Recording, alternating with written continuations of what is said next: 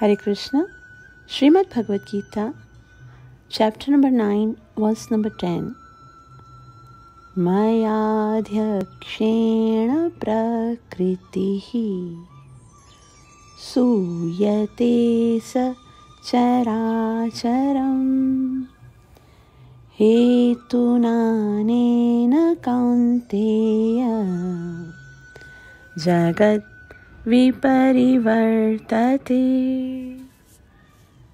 मयाध्यक्षेण प्रकृतिः सूयते स चराचरम्।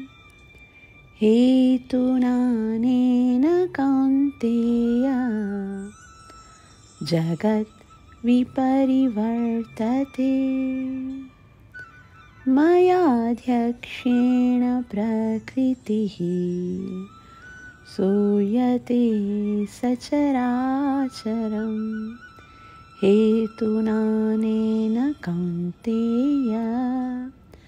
जगत् विपरिवर्तते।